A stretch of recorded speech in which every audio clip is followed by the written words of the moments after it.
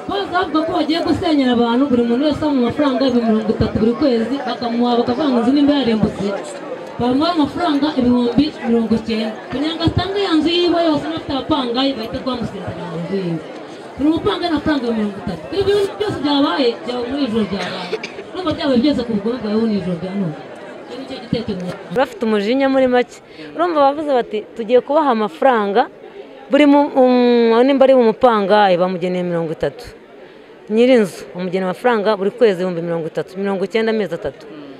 Ya mirongo icyenda amezi atatu ya nzu ye ba- bamubwiye ko avanaho inzu n'amabati akavanaho ngo inzugi n'amabati n'amadirishya. Ya ma- ya madirishya amaze kuvanaho agahita ko agenda akajya ahandi azagenda ajye nta handi namara kugerayo azifata gute? Ba bana azabatunga gute? Muzamuha ikintu cyo kurya? Icyo nshaka kubaza nanjye. Urabona ari byo byatuma mu mudugudu wa Kangondo kabiri mbese iyo darapo uturinda akagari abaturage hari abarinzi b'akagari bakarinda tuzaze tu- duke mu rugo tuze kureba iyo raporo imanitse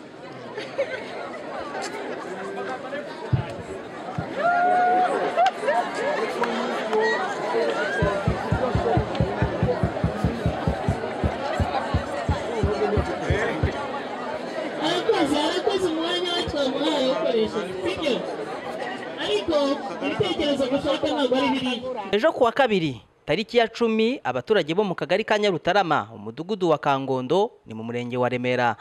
Akarere ni aka gasabo ni bwo bari bari mu nama n'abayobozi. Batandukanye mu nzego zitandukanye baganira ku kibazo cyo kubimura aho bari batuye. Aba baturage babwiwe ko bazahabwa amafaranga ibihumbi mirongo itatu ku bari bacumbitse bakodeshaga n'ibihumbi mirongo icyenda by'amezi atatu ku bari bafite inzu batuye. Aba baturage bamajije kumva iki cyemezo cy'ubuyobozi. Bahise bahaguruka barigendera baritahira. Kuri uyu munsi tariki ya cumi na rimwe ukwezi ni ukwa gatatu umwaka w'ibihumbi bibiri na makumyabiri ni bwo ahagana mu masaa saba z'ijoro amakuru yacicikanye mu bayobozi batandukanye babwirwa ko ibendera ry'igihugu ryibwe.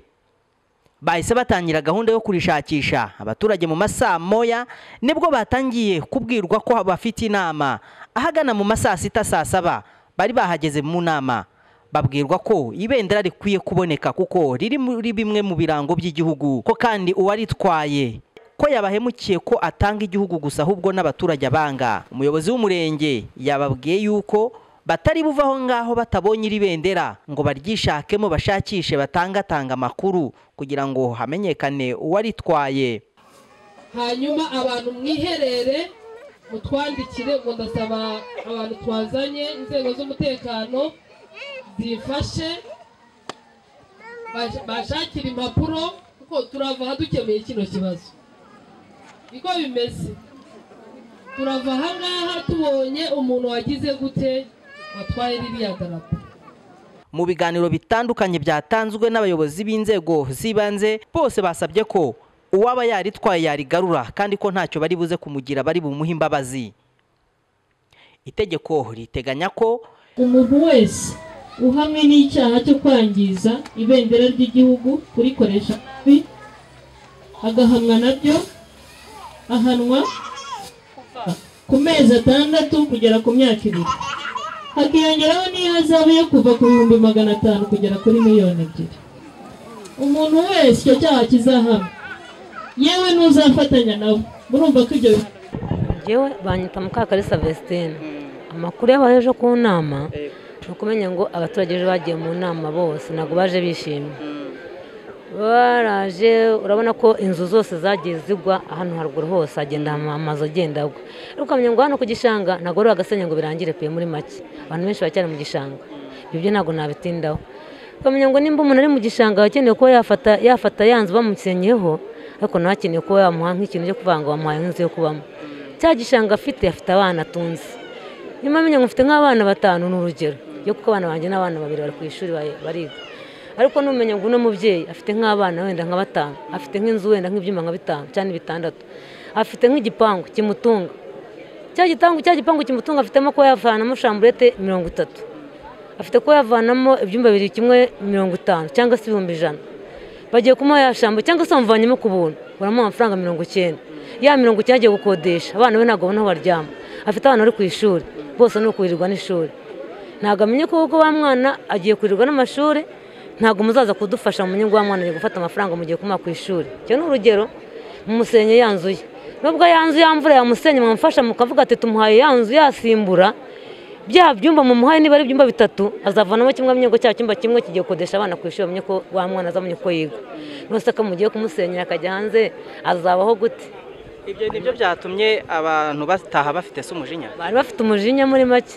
Urumva bavuze bati tugiye kubaha amafaranga buri um, nimba ari umupangayi bamugeneye mirongo itatu.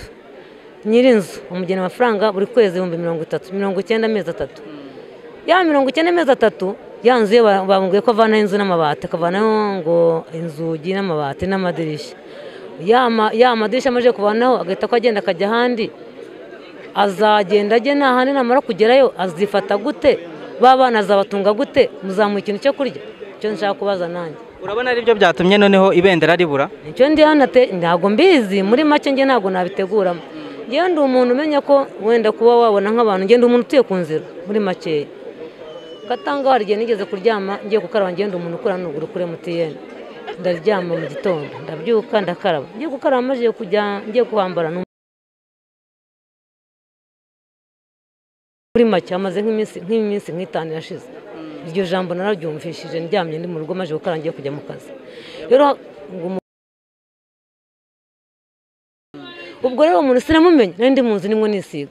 Hagati yaho rero ntabwo amenye umuntu watwaye ibendera kuko abantu bashobora guteba bakavuga ati reka duhemukire inkeragutabara ko inkeragutabara ashobora kuba zavuga ati tugiye kujya kureba nk'abantu bagiye kujya nko wenda bareba nk'indaya nk'uko bakava nk'ako kagari. Hakaza umuntu w'umugome utwaza bendera ntumenye umuntu waritwaye rero gusa mwamenya ari inda hagati yabo. Ari iki kirakorwa kugira riboneke? Turasenga kugira ngo turebe ko twabona ukuntu byagera nta kundi umuntu yabigenza. Cyangwa se umuntu akagenda yakurikirana nk'amateka nk'ayo ngayo. Ariko kuba imana irashobora kuboneka nta kundi twabigenza. Ubundi se aho bazasenya ni hehe? Ni no kangondo yose? Ni ni hehe? Ubwo baduteguriye batubwira ko bazasenya ku gishanga. Hano kangondo bakazagenda ba- bazatu- niba bazatora ntabwo tubizi. Ibyo ntabwo tubizi ko bazatubarira muri make. Ntabwo ubundi aho babaze se ni hehe? Bari batoreye hano hose. Ariko ntabwo tuzi ahantu bazasenya muri make Mm, ntabwo nk'inzu yawe ifite agaciro kangahe?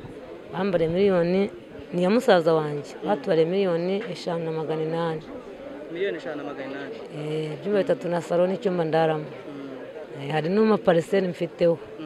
Eh, ubwo rero hagati yawo ntabwo tuzi umuntu ufite ubugome ntabwo twamenya uwo ari we. Ariko kubera imana ashobora kuboneka. Kubera imana bishobora gukunda rero. Urakoze cyane. Murakoze. Rwose nta wundi watuganiriza. Kugira ngo idarapo ry'akagari twongere turibone nk'ikirango cy'igihugu. Kandi ndumva ni abangunani byabaye baba- bababwiye. Kugira ngo idarapo ry'igihugu ry- ri- rigende mu buryo butazwi ku biro by'i- bi- bihagara- bihagarariye igihugu by'akagari ibintu biba bidasanzwe. Ibintu biba bidasanzwe. Impamvu ko ari ibintu bidasanzwe ubundi idarapo riri mu birango biranga igihugu mu birango bikomeye biranga igihugu cyacu.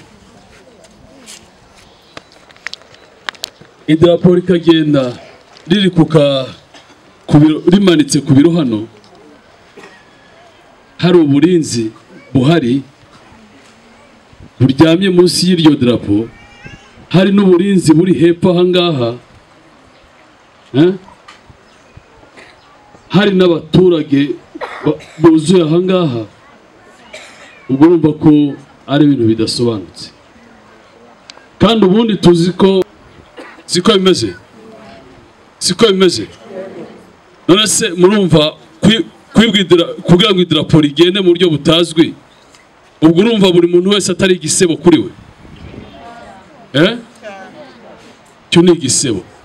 Kuko iyo bavuga bavuga ngo icyo ni ikintu cya mbere kigaragaza ko iryo darapo rigiye kuboneka. Kuko nta handi riri. Riri hagati yanyu. Turumvikana. Muramutse mubishatse. Riraboneka ariko rero byanze bi- byanze bikunze riranaboneka turumvikana. Ubwo rero nk'uko nk'abantu tubayeho nk'abanyarwanda twanyuze muri byinshi niyo mpamvu ubu ikintu cyose kitagenda neza nk'umunyarwanda ugomba kukirebera hafi. Turumvikana. Ubwo turizeye ko muri butubwire aho ryagiye. Siko bimeze se? Aa muratubwira aho ryagiye kuko nta handi ryagiye ririmo hano. Turumvikana? Ririmo hano.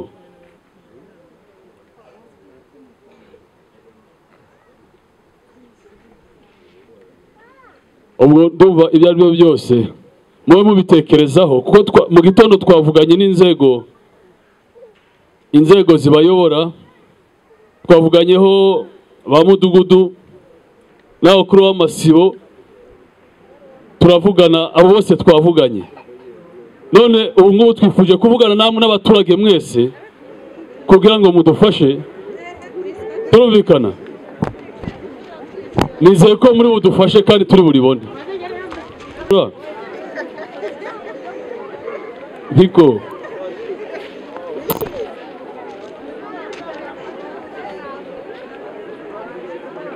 ntabwo imvura iragwa.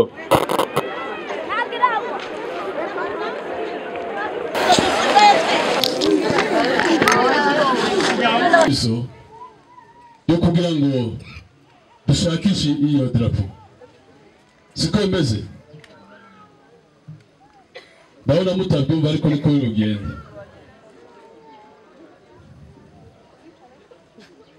ubwo rero nasabaga ko uko byagenda kose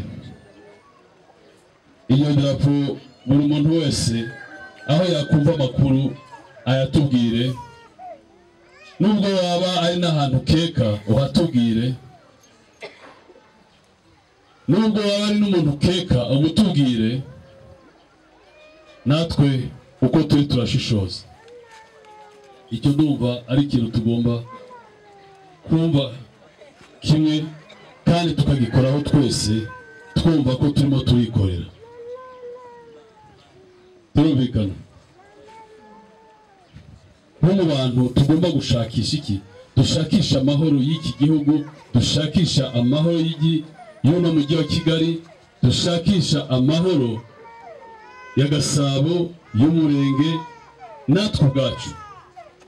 Reka icyo gikorwa tugikore kibi cyacu dushakishe ku buryo buri muntu wese ashobora kumva ko abitwaye nk'umutwaro kugira ngo ashobore kutubwira aho iyo darapo ryagiye. Ikindi navugaga navugaga ibyo ari byo byose. Umutekano kuko ngenda babwira ku bintu bijyanye na sekiriti bijyanye n'umutekano. Umutekano ntabwo ushinzwe jyewe wambaye izi uniform. Ntabwo umutekano ushinzwe uriya mugenzi wanjye turi kumwe w'umupolisi ntabwo umutekano ushinzwe daso ntabwo umutekano ushinzwe gitifu gusa. Twebwe turabishinzwe. Ariko muri abo bose tudafatanije namwe. Uwo mutekano ntitwawugeraho. Siko bimeze? None se ubu hano muri hano muri nyarutarama. Nimba umuntu azaza agasenya inzu iri iruhande urumva? Agasenya inzu y'umuturanyi wawe. Ukabirebesha amaso. Ntugire icyo uvuga. Ubwo se kubera urumva? Uretse no ku- no kuba udakunze mugenzi wawe urumva uzaba ukunze igihugu? Kuko uriya usenyera mugenzi wawe uriya wiba televiziyo ya mugenzi wawe ejo azakata aze yibi yawe.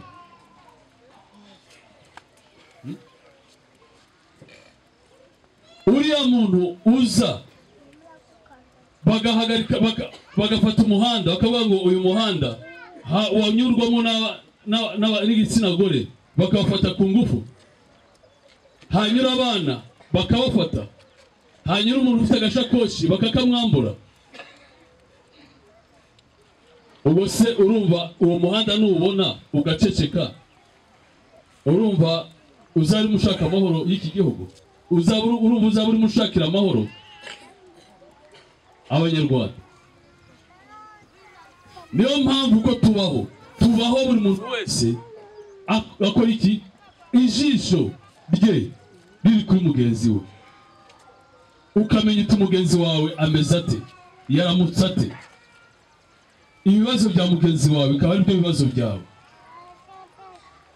Ariko mu gihe uzicara mu rugo rwawe ukumva ni wowe n'urugo rwawe urareba hafi aho mu rugo rwawe ureba hirya y'urugo rwawe ntabwo uzaba uri umuntu wo muri uru rwanda.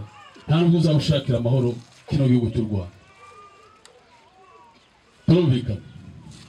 Niyo mpamvu rero ugomba guhagarara ugatanga amakuru nk'umuturage nta kindi tuba tugusaba. Tugusaba amakuru. Turumvikana?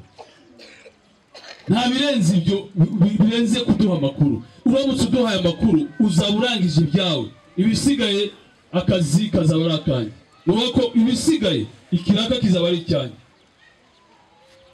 none nimba nagusaba kugira ngo ubyuke nimba nagusaba ujye gufata uriya muntu kumurebesha amaso no kuhamagara uti ariko ndareba ibintu bidasobanutse ndareba umuntu udasobanutse ibyo ngibyo bikurusha gute?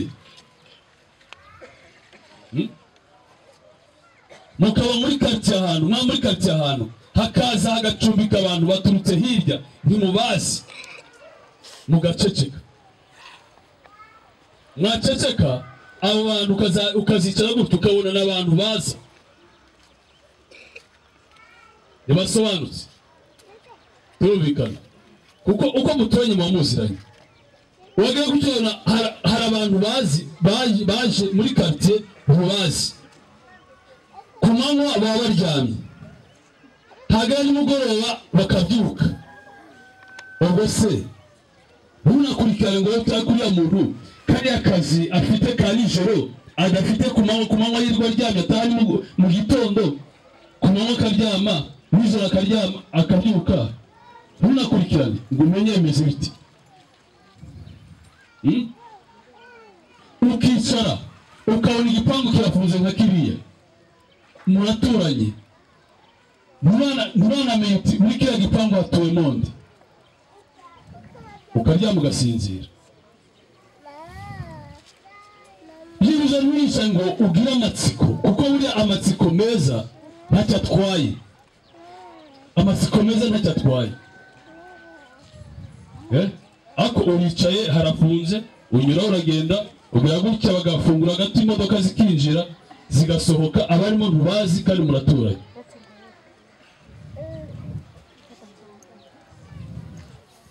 Urumva icyo kibazo kiba gihari? Noneho nyuma yaho bakazaza ukazabona havutsemo kawutindi. Ntuzi ibyo ari byo niyo mpamvu mubwira ngo iyo havutse ijisho rya icyo usabwa ni ukureba ukanakurikirana warangiza ukatubwira. Tukamenya tugakurikirana tukareba. Reka no kuza nka- nkakomanga nkabwira nk'umuturanyi nkaho cyangwa se nk'umuntu nkakomanga ntimuri aho mwaramutse. Ni hano ntabwo narize abantu batuyemo. Ndashaka kubabona. Mugasuhuzanya ukabimenya. Ntacyo bitwaye. Kuko ntacyo bitwaye. Ukicara ukabona inzu ziri ahantu harafunze. Ntibaza mu bikorwa by'umuganda ntibaza mu bikorwa bi- bihuza abantu bo baricaye aho ngaho. Abashinzwe kuba kujya kwaka amafaranga y'irondo barareba bafunze ati binjira mu modoka ati bakareba ati ntitwahinjira ibyo byose ni ikibazo kiba gihari. Niyo mpamvu mubwira ngo umutekano ntabwo jyewe nzawurinda ngo uwushobore ntafatanije nawe kandi wowe ntabwo nzagusaba gufata imbunda nzagusaba kumva amakuru numara kumva amakuru byose bizaba bihagije urumva ari igikorwa gikomeye niko. Urumva urumva icyo ari igikorwa gikomeye kuko nakubwira ngo nutanga amakuru hazaza abantu bature hafi yawe bacura imigambi mibi. Utabizi noneho uzaza kumbwira amazi yareze inkombe ubundi muri karitsiye abantu bahatuye muba muziranye abantu bahatuye hari amakaye yanditsemo amakaye y'umudugudu abantu banditsemo umuntu araje igikundi cy'abantu kiraje. Ntabwo urababona. Urababona bagenda ukabona bagaruka.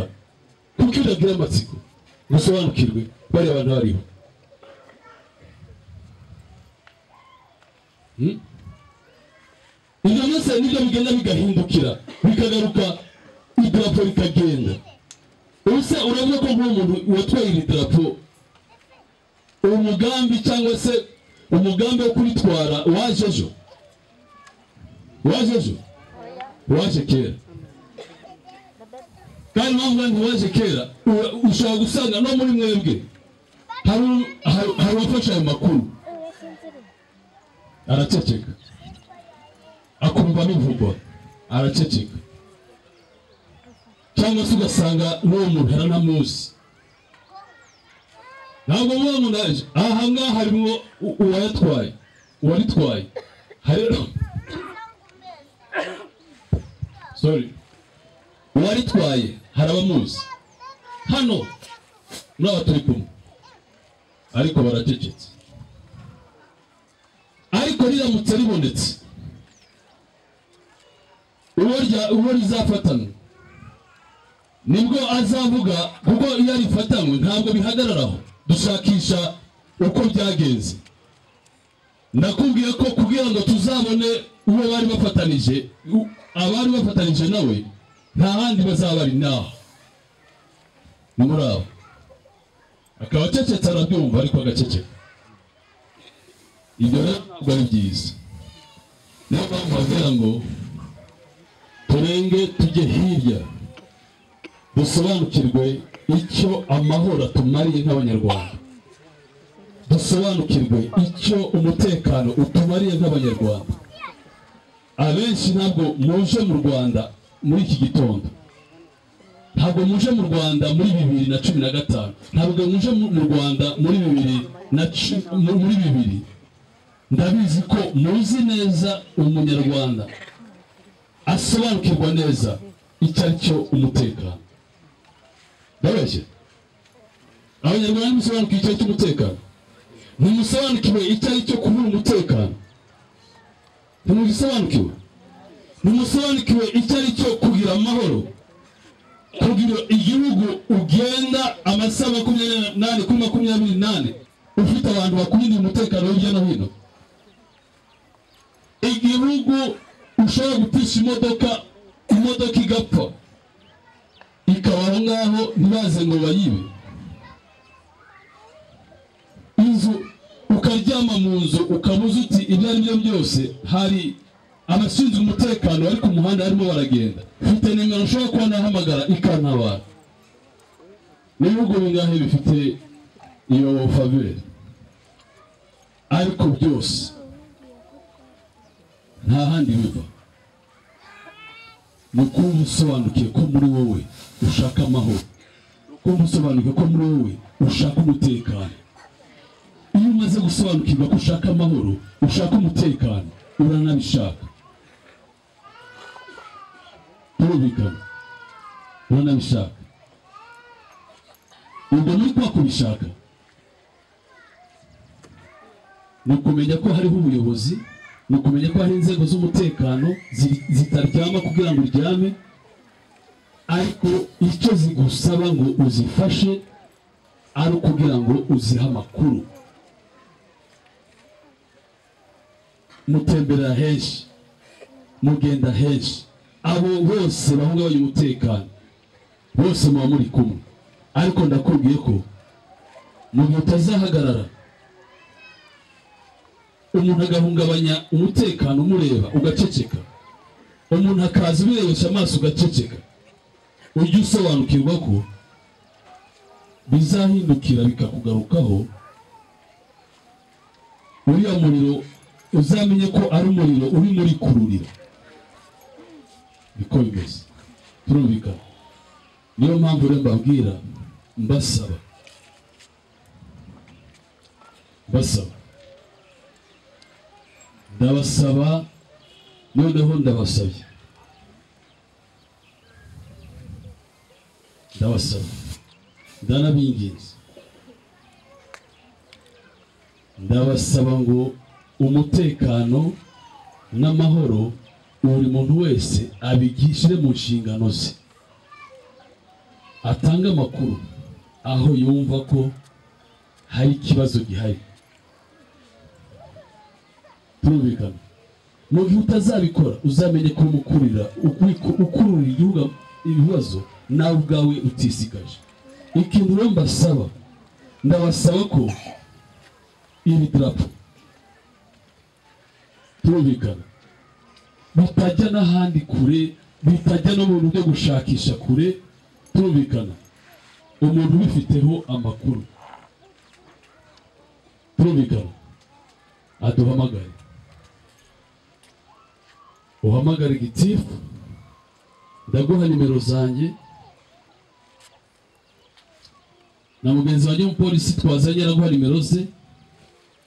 Uduhamagara uti genda wumva bimeze gutya na gutya. Nimba unayifite turumvikana ubu turacyari muri renji turacyari muri ka kandi ko kugira ngo nurizana ubu ngubu. Hariho byinshi uzaba wirinze. Turakubabarira. Turakugaya tukubabarira turumvikana sibyo? Sibyo? Nimba ubu ubu urumva hari ahantu rifite turumvikana. Cyangwa se nimba hari na mugenzi wawe waritwaye uzi ahantu yaribitse. Turakwinginze ngo urizane. Turumvikana. Urizane hano ku kagari. Turumvikana. Turakubabarira turakugaya ariko tukubabarira kuko buriya no kukugaya tukakubabarira buriya harimo inyoroshyacyaha turumvikana noneho bidatuma ko kugira ngo uduteze gukomeza gushakisha. Kuko gushakisha bwo turarishakisha biratugora ariko turaribona. Turumvikana turaribona. Biratuvuna ariko turaribona. Ariko icyo ngusaba nagusaba ko nimba hari ahantu urizi cyangwa nimba hari mugenzi wawe uzaho riri uzi ko azi aho riri? Umwegere murizane hano ku kagari turumvikana noneho bucece bazaduhamagare bahamagare gitifu bamubwira ati rya bendera ryarabonetse. Sibyo? Aho naho uzaba ubaye intwari. Sawa buriya gukosa ntiwisu- gu- gukosa ntiwisubireho. Ah, bavuga ngo ku- kutisubira bibyara iki Eh. uzaba ubaye umugabo nabwo uzaba ubaye intwari sibyo ubu rero nkaba ndangirije aha ngaha babwira ngo ndangiza avuga ngo dufatanye mu kuzana amahoro sibyo dufatanye mu kuzana umutekano mu rwanda ahantu hose ni nyabagendwa kigali yose ni nyabagendwa icyo aho wambwira wambwira uti hari ahantu hatagendwa? Aho ngaho bizaba bimpaye akazi. Kuko ndashaka ko mwisanzura ariko ari uko mumpaye amakuru muduhaye amakuru. Sibyo? Ubwo rero nizere ko nimugoroba turi buva aha ngaha baduha amakuru du- duhaguruka hano batubwira ko idarapo ryabonetse. Siko bimeze siko bimeze ariko ndiho mwakonje siko bimeze biraboneka ndabyizeye sawa rero nawe ushinzwe umutekano siko bimeze ikomera amashyi ko ushinzwe umutekano sawa murakoze kandi arakoze cyane ndumva mwamwongera amashyi. Ntabwo mvuga byinshi kuko hafi ya byose yabivuze. Ahubwo icyo nongera kwibutsa duhora tubabwira buri munsi ni uko umuturage ari ijisho rya mugenzi we. Ntiduhora tubiririmba. Buri munsi aho turi hose ntiduhora tubivuga. Niyo mpamvu n'iri darapo rigomba kuboneka kubera ko buri wese ari ijisho rya mugenzi we. Hari uturanye n'akagari hari uwagenze ku kagari hari uwaharaye hari uwahatembereye mu ijoro cyangwa se ku manywa hari uwumvisha amakuru cyangwa se hari n'ufite amakuru yo mu gihe cyashize wenda yiwe ashobora kuba yarumvise. Hari icyo wenda yavuze kuri iri darapo cyangwa se ku kagari n'undi mugambi utari mwiza. Icyo ni cyo tubasaba ngo amakuru aka kanya icyo ntabwo tuguma mu magambo gusa ahubwo turifuza ko mudufasha mudufasha muduha amakuru tumenye aho ibendera ry'igihugu ryagiye ikindi nashaka kubabwira nagira ngo mbamenyeshe ko umuntu wese uhamwe n'icyaha cyo kwangiza ibendera ry'igihugu kurikoresha nabi agahamwa na byo ahanwa ku mezi atandatu kugera ku myaka ibiri. Hakiyongeraho n'ihazabu yo kuva ku bihumbi magana atanu kugera kuri miliyoni ebyiri. Umuntu wese icyo cyaha kizahamwa yewe n'uzafatanya nawe murumva ko ibyo bihano bitari ni na yo mpamvu tutifuza ko muhanwa ahubwo turifuza ko turibona. Kandi yarabwiye ngo n'uwakwisubiraho yari yaritwaye akarizana. Twamubabarira n'ibyo bihano ntiyarihabwa kuko yabaye inyangamugayo. Siko bimeze? Mudufashe muduhe amakuru. Niba wenda gitifu yabinyemera giti numva tutaguma muri bihugu reka duhe abaturage nabo batwihera amakuru. Siko bimeze? Tubahe umwanya. Tubahe umwanya. Tubahe umwanya. Ni bande bashaka kuduha amakuru? Abantu bashaka kuduha amakuru?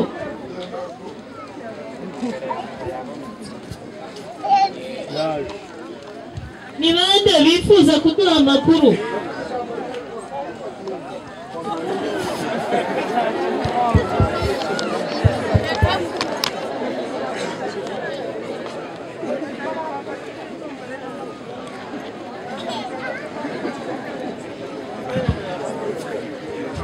N'abagize nozima teogene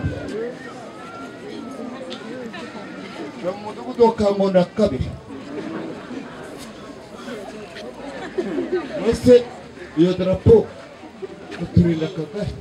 darapo uturinda akagari abaturage hari abarinzi b'akagari bakarinda tuzaze tu- duke mu rugo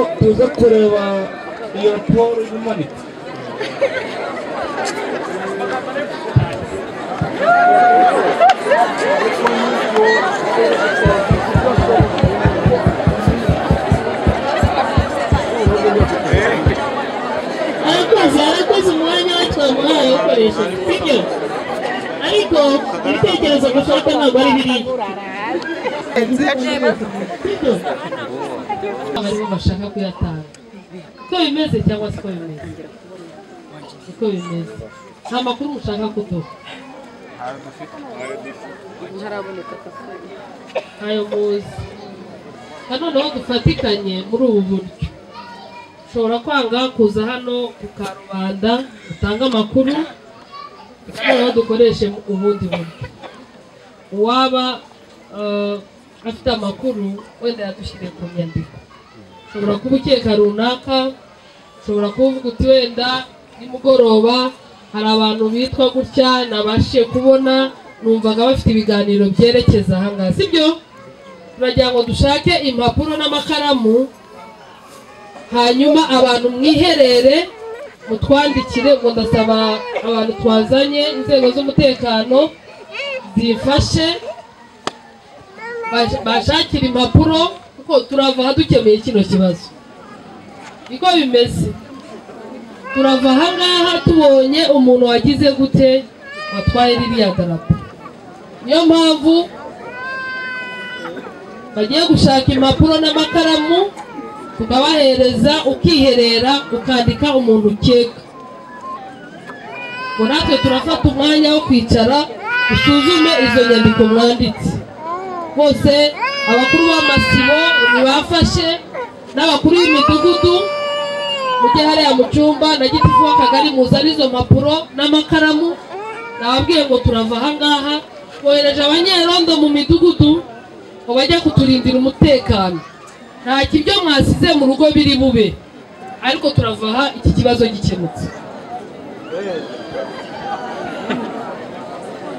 Uko bimeze?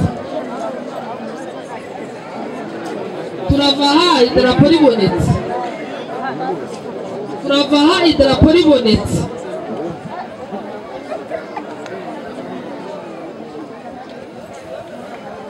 Bakinisha igihugu ni ikirango twemera twizera twubaha ubundi iyo bariho banarizamura ntabwo tuba tugomba kuvuga ntitugomba kugenda. Turahagarara tugatuza kuko ni igihugu cyacu. Icyo kirango rero kigomba kuboneka. Sibyo? Nuceceka ukanga gutanga amakuru nibura urayadushyirira ku rupapuro. Ubundi ibyacu turabikomeza ariko babidushyiriye ku rupapuro. Sibyo? Ibyo na byo birabananira kwandika mwiherereye birabananira ariko icyo mvuze ni uko tuva aha ngaha iki kibazo gikemutse hari ufite ikindi gitekerezo hari ufite ikindi gitekerezo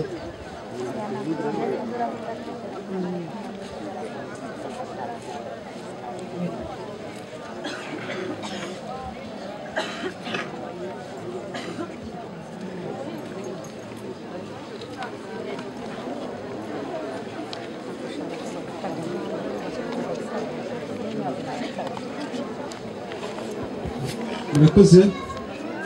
Hanyuma njyewe nta makuru nje gutanga ahubwo ni igitekerezo umuyobozi muvuze ko mugiye gutanga impapuro n'amakaramu. Kugira ngo abantu batange ubona nk'amakuru bafite. Ariko twibukiranye ko mu banyarwanda sinzi ko bose bazi gusoma no kwandika. Eh, ikindi kandi hari n'ushobora gutanga amakuru wenda akoresheje na telefone. Mwabasha gutanga nimero za telefone kuba bishoboye ukabasendeka meseji cyangwa se abo batabasha gusoma no kwandika nabo mukabatekerezaho icyo bakora murakoze umuha amashyi atanze ibitekerezo bibiri.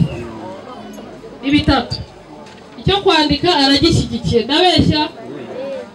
Aragishyigikiye ariko aravuga ati hari abantu mu by'ukuri batazi gusoma no kwandika. Birababaje nyine ko hari abantu batazi gusoma no kwandika ariko reka nabo tubahe ishatse yabo. Utabishoboye gusoma no kwandika araza kwegera muri twe batatu. Yewe afande christine cyangwa se afande kahamanyi umwegere umuhe amakuru we ufite. Sibyo? Ubwo ni ukuvuga ngo kuko atazi gusoma no kwandika waratanga amakuru n'umunwa we kuko kuvuga byarabishoboye. Sibyo? Uwa kabiri warandika kuko azi kwandika. Uwa gatatu avuze ko twatanga telefone zacu. Telefone yanjye ni zeru karindwi umunani umunani umunani murayandika se. Nta niyo mwagiraga?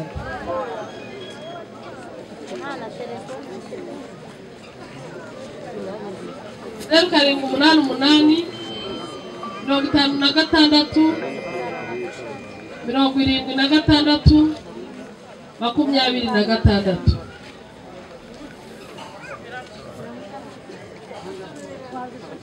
Zeru karindwi umunani umunani mirongo itanu na gatandatu mirongo irindwi na gatandatu makumyabiri na gatandatu. Umwese mwese mugiye kumbipa ndabizi uwa mbere aratangiye uwa kabiri arasubira. Mureke kumbipa sibyo? Mwe muretse mbanze mbahe nimero.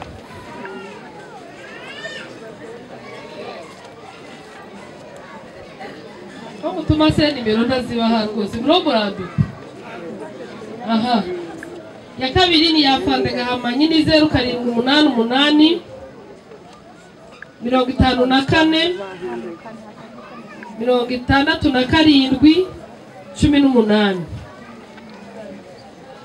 mwayirangije? Ntabwo wanditse. Ntayo uri bukenere zeru karindwi umunani umunani mirongo itanu na kane mirongo itandatu na karindwi cumi n'umunani nibo bariho bakubipa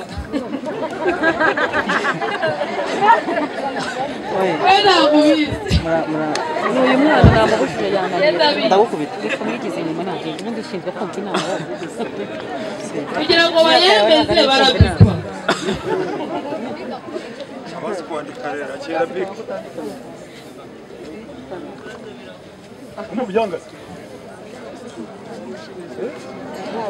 uzayatanga abatwara sibo abatwara sibo abamwisira umunani mureke mbane eh mujye yewe ndasanga ibyo bintu biri buzemo inzangano niba umuntu yangana na kanaka ari bumubeshyere abimugerekeho bashyiramo inzangano reka nkubwire. Turabizi abantu umuntu ashobora kwanga undi. Ariko umuntu ntiyakwangwa n'abantu babiri batatu bane batanu akagari kose kakamwanga. Natwe mu gusesengura turashyiramo ubunararibonye n'ubushishozi. Ntabwo dushobora kwemera ko umuntu arengana kandi wenda bamubeshyera inzangano tuzisige mu byumba byacu hano twazanywe no gukemura ikibazo. Ushobora kubaza ubundi biri mu myaka myinshi wanga mu nyarutarama byabaye umwanya bagiye kuvuga ngo bagiye kujya gusenyera abantu ngo bagiye guha amazu ku mafaranga ngo buri muntu ni amafaranga mirongo itatu niwo munsi byabaye muri bya none bityo tukabona ku mwanya ngaho ntabwo tubyumvise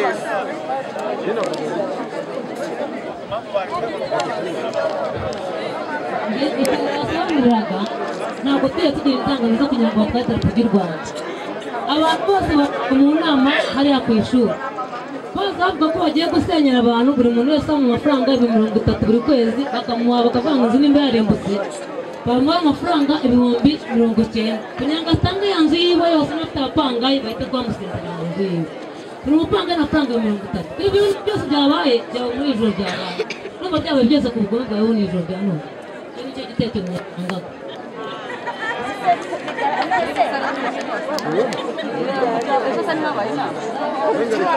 wenda ashobora kuba akurikiranyije ibintu uko atabishakaga ariko aravuze ati nyuma y'inama yabaye ejo. Ubu bugome ntibwigeze bubaho muri nyarutarama ariko nyuma y'inama yabaye ejo. Aribaza yuko amagambo abantu bagiye bavuga hari abantu bashobora kuba babyihishe inyuma bakabikora gutya. Niba mesaje itaranagenze neza ntabwo abantu bavuze yuko barimbure bivuze nko kurimbura.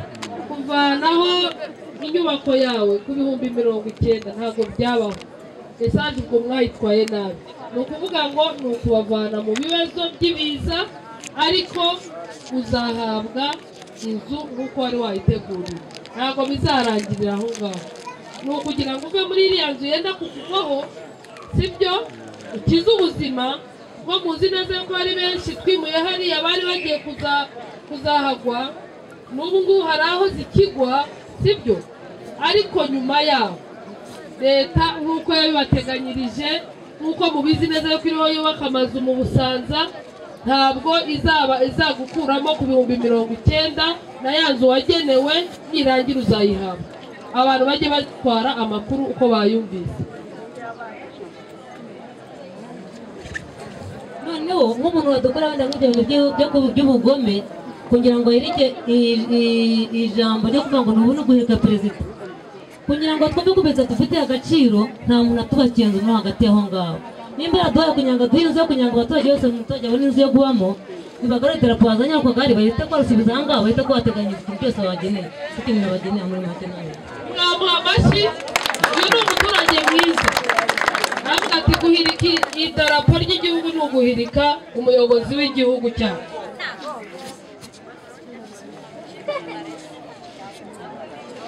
niko mubyemera siko mubyemera.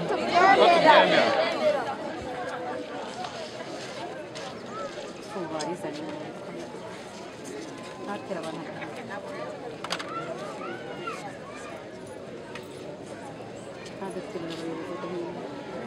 bintu